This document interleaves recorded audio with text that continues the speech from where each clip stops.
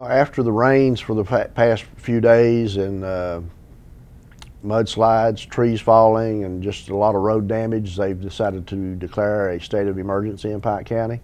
Uh, we've had some high water. I think most streams have stayed within their banks in some places. I know uh, some of the roads have got water damage because of stopped up drains and things like that. There's not been any injuries that we know of, but uh, the trees are continuing to fall today. We've got more reports of slides today.